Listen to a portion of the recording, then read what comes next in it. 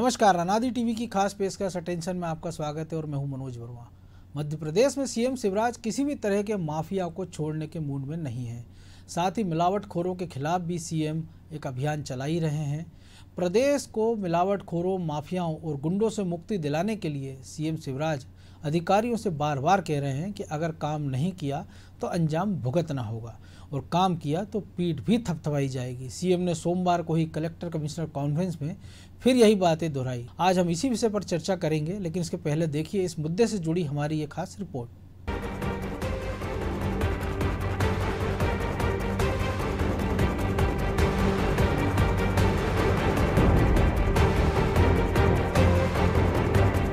प्रदेश में सुशासन स्थापित करने के लिए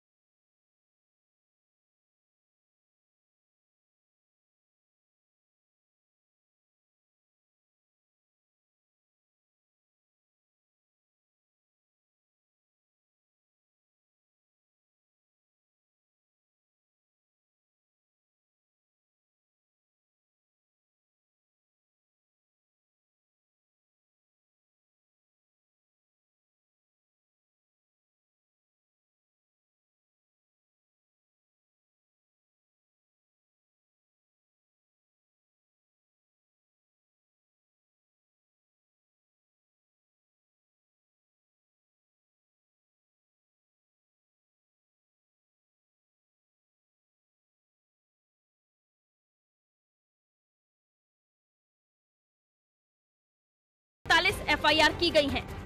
और 5,203 क्विंटल अनाज जब्त भी किया गया है।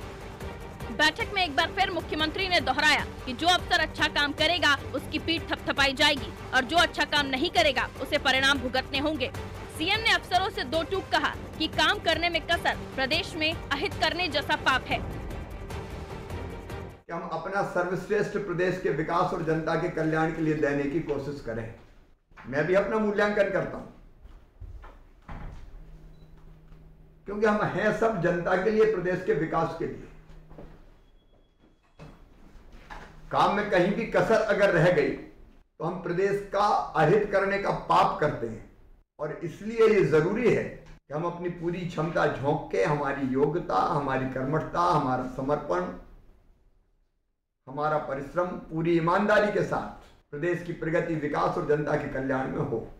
अब इसमें जो चर्चा होती है, उसमें मेरा कोई राग द्वेष नहीं है। सब बराबर हैं। मैं सबको बराबर मानता हूँ। जो अच्छा काम करेगा, हम पीठ थपथपाएँगे। अच्छा काम करने वालों की हमें ज़रूरत है, प्रदेश को ज़रूरत है। और जो परफॉर्म नहीं करेगा,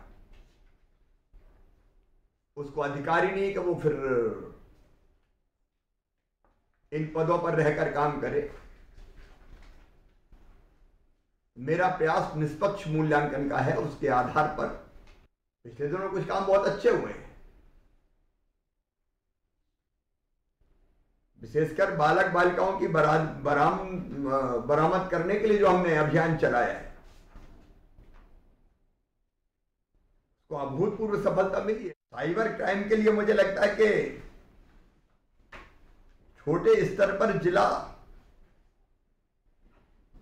एक शुरुआत करें। प्रदेश के स्तर पर हम विचार कर रहे हैं। उपलब्ध संसाधनों में से करें। और वो प्रयोग अगर सफल होता है तो फिर हम उसको और पूरे प्रदेश में आगे बढ़ाएँगे। प्रदेश में कानून का राज और सुशासन स्थापित करने के लिए सीएम शिवराज लगातार अधिकारियों को साफ़ लहजे में समझा रहे हैं।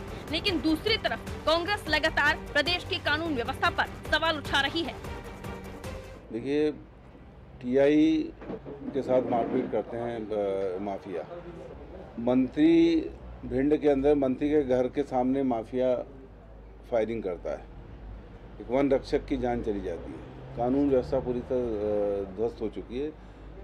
और जो बार बार मुख्यमंत्री जो कहते हैं, उसको कर नहीं रहे कथनी और करनी मंत्री। ने कहा था टांग देंगे, लटका देंगे, गाड़ देंगे। इसमें तो कुछ भी नहीं हुआ है। अगर ये कुछ हो जाता तो मैं समझता हूँ इस कॉन्फ्रेंस की ज़रूरत नहीं होती, अभी सब कुछ ठीक चलता रहता गृह मंत्री जब कलेक्टर और एसपीएन की वो है मीटिंग तो गृह मंत्री को रहना चाहिए उस सब चीज़ों को फॉलो अप तो गृह मंत्री करता है। ये कहीं ना कहीं जो द्वंद्व की स्थिति है, ये कानून व्यवस्था को और ध्वस्त कर रही है। खैर, विपक्ष है तो सवाल तो उठाएगा। इसके पहले दो बार मीटिंग हुई और अफसरों पर एक्शन हुआ था।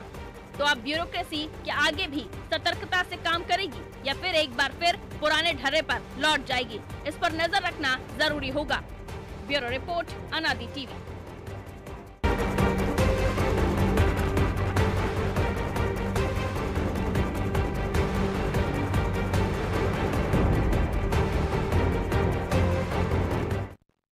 निश्चित तौर पर मुख्यमंत्री ने कहा भी कि हम इस पाप के भागी ना बने, और ऐसे ही कविता है जिसमें कहा गया है कि समर शेष नहीं है। पाप का भागी केवल व्याग समय लिखेगा उनका भी। जो तटस्थ रहेगा, समय लिखेगा, उनका भी इतिहास। तो निश्चित रूप से इतिहास तो लिखा ही जाएगा और लिखा भी जा रहा है। और इन्हीं सब मुद्दों पर चर्चा करने के लिए हमारे साथ अनादि टीवी के editor in chief Prakash Bhatnagar और ब्यूरो हेड ब्रजेश चौक से जुड़े हुए भटनागर जी, तीसरी बार लगातार ये कॉन्फ्रेंस हो रही है। हर बार मुख्यमंत्री एक तीखे तेवर में नज़र आते हैं, बार बार निर्देश देते हैं। लेकिन एक दो चीज़ें कुछ ऐसी हैं कि जैसे कृषि उपार्जन को लेकर उन्होंने आज बात की लेकिन जो कृषि मंत्री हैं जब गेहूँ उपार्जन का समय नज़दीक आने वाला तारीखों की घोषणा हुई है वो किसान आंदोलनों को लेकर नर्मदा की परिक्रमा कर रहे हैं बारह तारीख तक शहर के बाहर हैं। गृह विभाग से जुड़ी क्योंकि कलेक्टर कमिश्नर कॉन्फ्रेंस थी आईजीएसपी थी गृह मंत्री पश्चिम बंगाल के दौरे पर आपको नहीं लगता कि सारा काम जब मुख्यमंत्री ने अपने सहयोगी बना दिए मंत्रिमंडलों का बंटवारा हो गया, सबकी ज़िम्मेदारी फिक्स है कि कौन मंत्री क्या करेगा। तो बार बार मुख्यमंत्री को ये सब क्यों करना पड़ रहा है?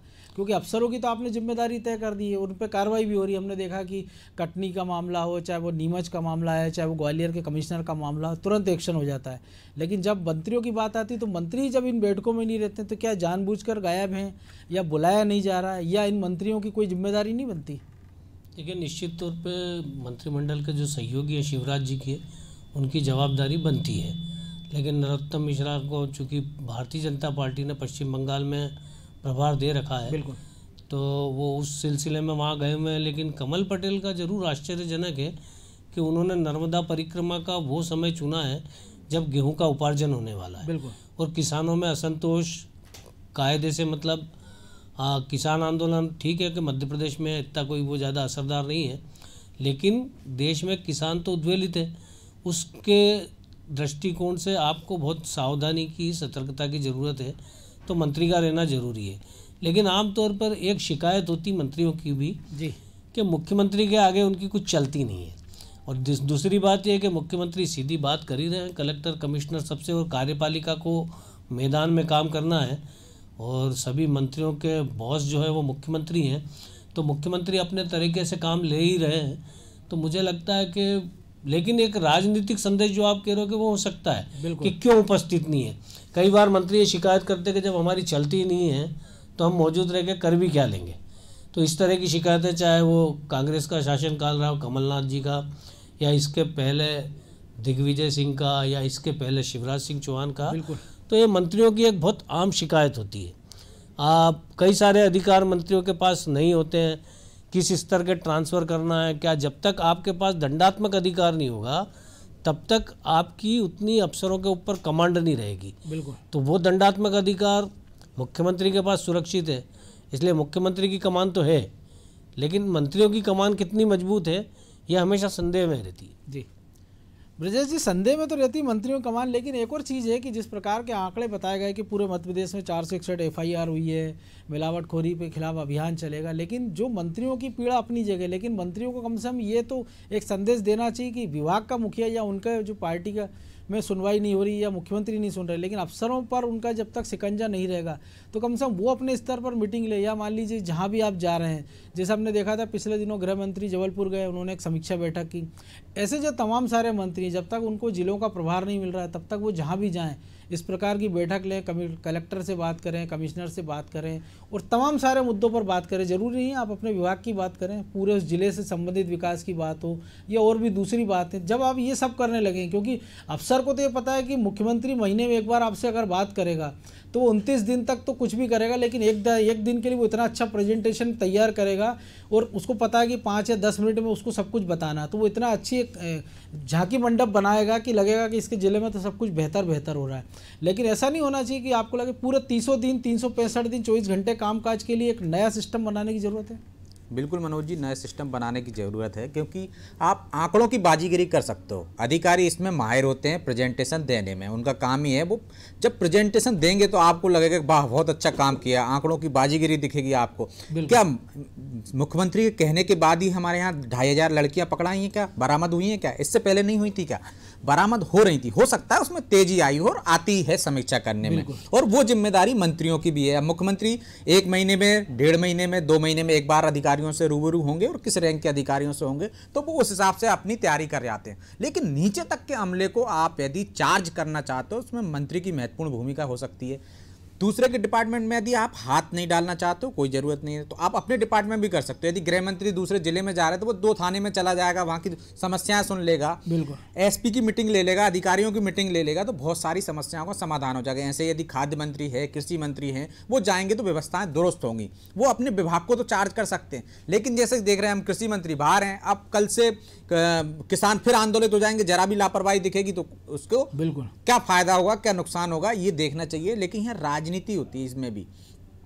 नेता अपने हिसाब से चलते हैं और अधिकारी अपने हिसाब से चलते हैं। आप देखो कि जब मुख्यमंत्री मंत्रियों को नहीं बुला रहे हैं बैठक में तो उसका फ़ायदा कैसे अधिकारी उठाते हैं? आपने पिछले दिनों का एक मामला है कि डीजीपी ने तबादले कर दिए। गृह विभाग ने कहा कि आपको अधिकार नहीं अधिकार है। नहीं है। हाँ तो यदि ये मंत्री समीक्षा बैठक में बैठते एसीएस बैठते तो ये नौबत नहीं आती कि दो विभागों में ये संदेश जाए। इसका नीचे के कर्मचारी अधिकारी फ़ायदा उठाते हैं। वो उनको मालूम है कि भाई एसीएस के पास जाएँगे दो धड़ों में बढ़ जाते हैं पता पावर सेंटर पावर सेंटर दो धड़ों में बढ़ जाएँगे तो इससे नुकसान होता है ज़मीन पे काम पे असर पड़ता है। तो यदि मंत्री सक्रिय रहेंगे वो समीक्षा बैठ के लेते रहेंगे तो ये नौबत नहीं आएगी। बाकायदा प्रपोजल जाएगा और एसीएस भी उस बैठक में रहेंगे गृह विभाग के। इसी तरह दूसरे अधिकारियों की हम बात करें तो फिर इस तरह के जो झगड़े जो सामने आ रहे हैं ऐसे झगड़े हर डिपार्टमेंट में होंगे। तबादलों को लेकर होंगे अभी देखना आप तबादले जैसे शुरू हो जाएँगे। अभी तो बड़े अधिकारियों के हो रहे हैं जिनमें मंत्रियों का कोई हस्तक्षेप नहीं है मुख्यमंत्री के लेवल के हो रहे हैं आईजी डीआईजी एसपी और कलेक्टर के। आगे जब तबादलों की सूची आएगी तो आपको ऐसे कई झगड़े देखने को मिलेंगे। तो यदि मंत्री सक्रिय हो जाएँगे अपने विभाग में अपनी ज़िम्मेदारी निभाएँगे मुख्यमंत्री ने यदि जो टारगेट दे दिया है उसकी बीच में यदि समीक्षा हो जाएगी तो मुझे लगता है कि ये आंकड़े और अच्छे आएँगे। तो ज़िम्मेदारी से भागना किसी को नहीं चाहिए। ज़िम्मेदारी अपनी भूमिका का निर्वहन करना चाहिए बल्कि। प्रकाश जी, आपने भी लंबे समय से देख रहे हैं कि अधिकारों की झगड़ा तो हमेशा से चल रहा है। हमने देखा कि पिछली बार भी सरकार में इस बात को लेकर बड़ा संतोष था। विधायक भी ये कहते थे कि ब्यूरोक्रेसी उनकी सुन नहीं रही है। अभी की स्थिति, जैसे आपने भी कहा कि कई सारे मंत्रियों की शिकायत है कि मुख्यमंत्री के कारण उनकी चल नहीं रही है।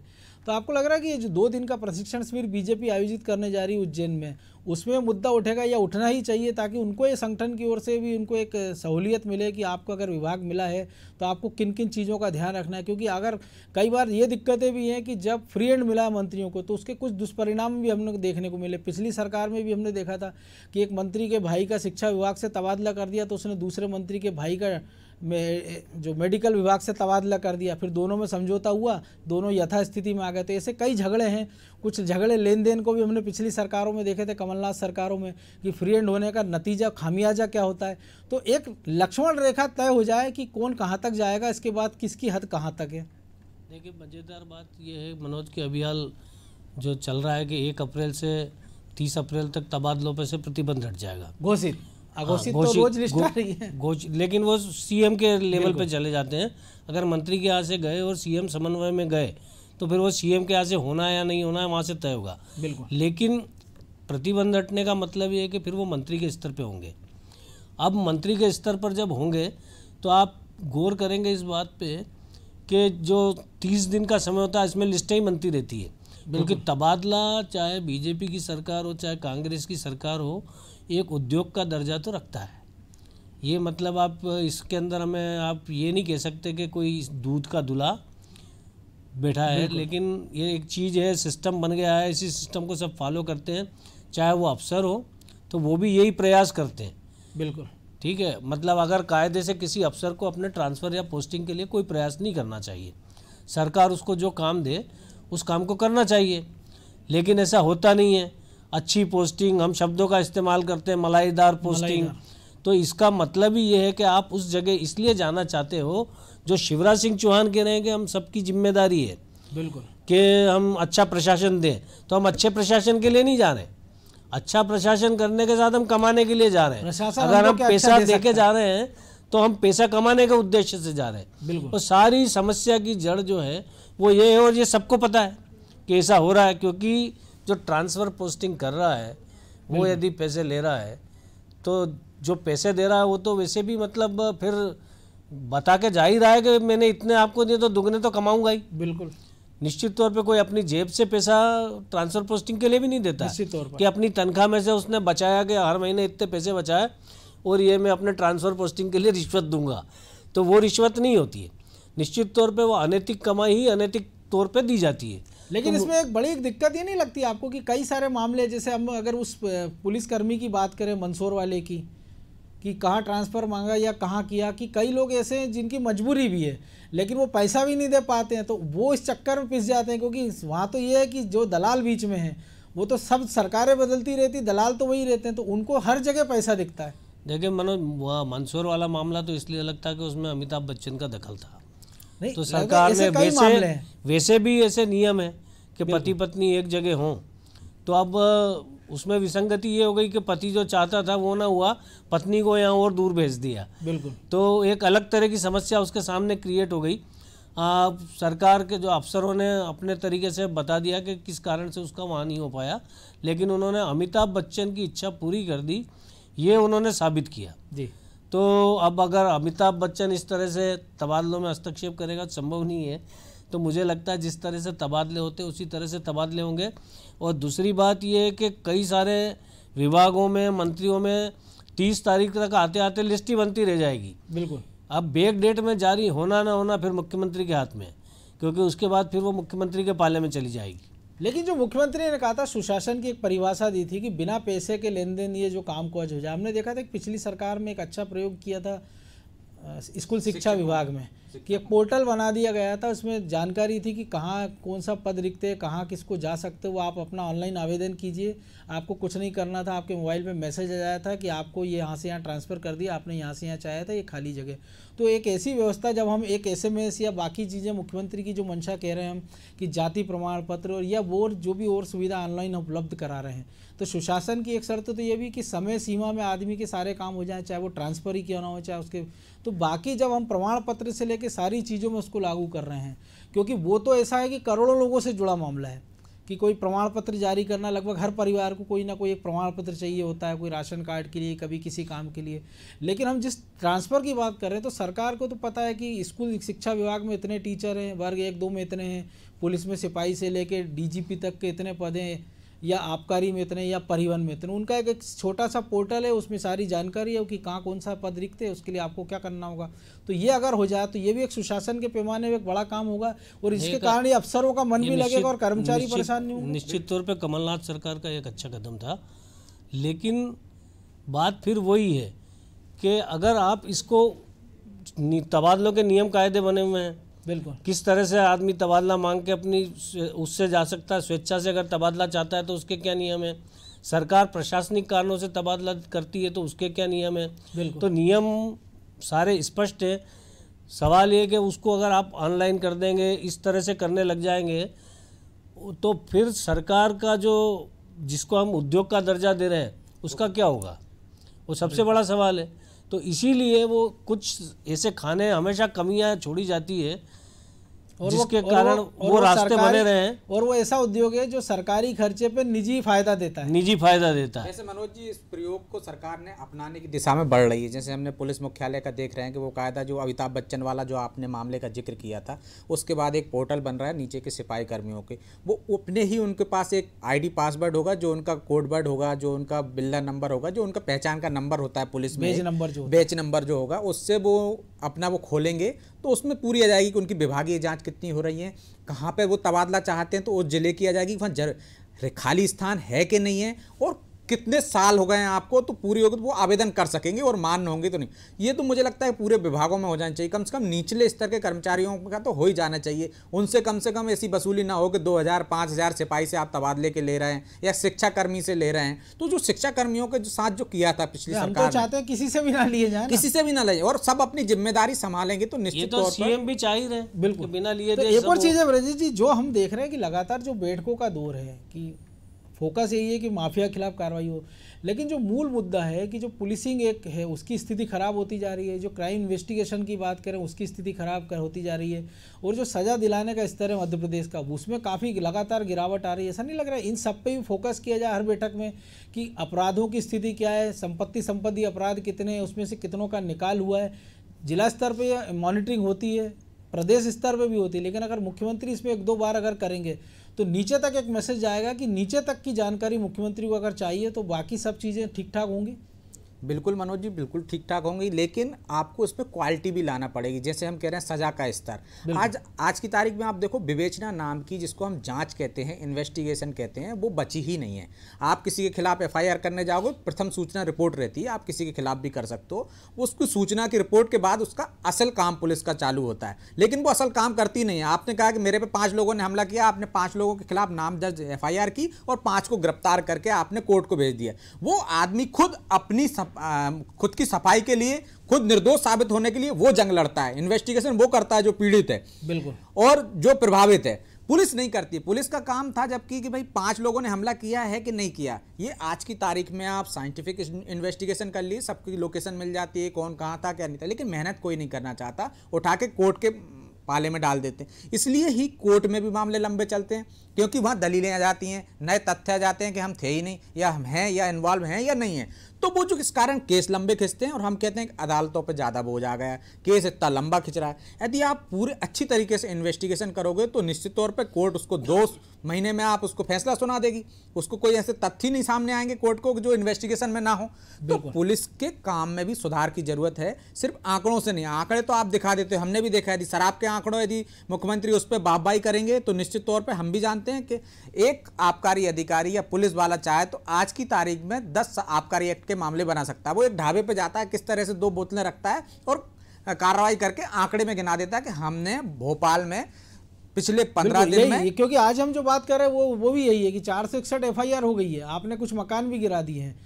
लेकिन जो व्हाइट कॉलर क्राइम है जो एक बड़ा नेक्सेस हमने देखा इंदौर में ड्रग्स के खिलाफ से जो इंदौर पुलिस कार्रवाई कर रही है वैसी प्रदेश के बाकी हिस्सों में कार्रवाई होती दिख नहीं रही है। बिल्कुल मनोज जी यदि वैसी कार्रवाई होगी तो निश्चित तौर पर अपराधियों में भय होगा। यदि वैसी कार्रवाई हो रही होती तो ना आपको वो देवास की घटना होना हो, होती ना ग्वालियर की घटना होती क्योंकि अपराधियों में खौफ नहीं है। उनको मालूम है कि अपराध दर्ज कर लिया गया है और वो गिरफ्तारी नहीं हुई। आंकड़े बढ़ गए हैं कि हमने चार सौ इकसठ मामले दर्ज किए हैं सत्ताईस पे एनएसए की कार्रवाई की। एनएसए की कार्रवाई चल रही है कि नहीं चल रही है?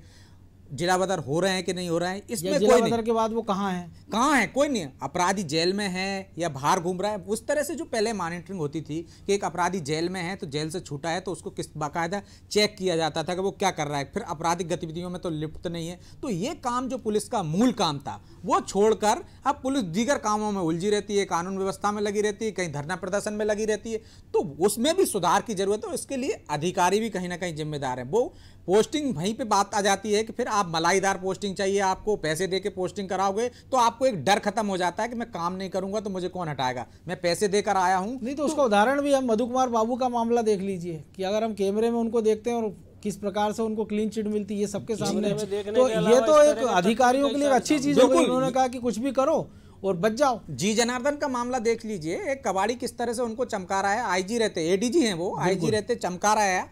और उसके बाद उस कबाड़ी पे कार्रवाई हो रही लेकिन आईजी पे कार्रवाई नहीं हो रही। इतने बड़े स्तर पर जो भ्रष्टाचार घुस गया है भ्रष्टाचार जो नीचे स्तर पर हम सोचते थे कि थाना स्तर पर सुनवाई नहीं होती। आज की तारीख में यदि आप एसपी के पास जाते हो तो वहाँ सुनवाई नहीं होती। वहाँ भी आपको देखा जाता है कितने पावरफुल हो कितनी अप्रोच से आए हो। तो ये जो सिस्टम में जो भ्रष्टाचार घुस गया है उसकी बदौलत है कि जो पुलिस वालों पर हमले हो रहे हैं क्योंकि उनको मालूम है निडर हो गए हैं वो कि हम ऊपर तक में हमारी पहुँचे हमारे साथ कुछ नहीं होगा। तो ये सिस्टम तब खत्म होगा जब आप पैसे लेकर भ्रष्टाचार के ज़रिए पोस्टिंग नहीं करोगे ईमानदारी से काम का आकलन करोगे। आप आंकड़े देख के नहीं जमीनी स्तर पे कौन कितना काम कर रहा है कौन ने ईमानदारी से काम किया है और उस क्षेत्र में पुलिस का दबदबा है कि नहीं अपराधियों के ये जब देखेंगे तब ईमानदारी से जब उसकी समीक्षा होगी तब जाकर कहीं अपराध पे और अपराधियों पे लगाम लग सकेगी। जी।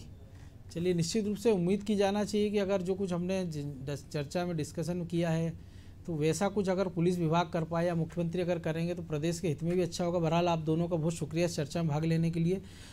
तो पुलिस विभाग में या कलेक्टरों कमिश्नरों की वीसी से कुछ खास बनता बिगड़ता नज़र आ नहीं रहा है, क्योंकि ये तो मूल काम उन विभाग के मंत्रियों का भी है। मुख्यमंत्री अपनी तरफ़ से इसमें पैरवी कर रहे हैं या कद स्टेप ले रहे हैं तो एक अच्छी बात है। लेकिन कम से कम नीचे के स्तर तक अफसरों को सोचना होगा, क्योंकि कई बार होता है कि अपराधियों को ये पता है कि खुद को बचाने के लिए अफसर, सिपाही, हवलदार कई बार उनको बचाने की कोशिश करते हैं ताकि आंकड़ों का हेरफेर हो। तो उम्मीद की जाना चाहिए कि आंकड़ों की हेरफेर से ऊपर उठकर कुछ अच्छे काम करें विभाग में ताकि मुख्यमंत्री को बार बार इस तरह की कॉन्फ्रेंस करना ना पड़े और मुख्यमंत्री का तो काम ही और मुख्यमंत्री की जो क्लास है, उनका एक अपना डर है, उनकी एक गरिमा है।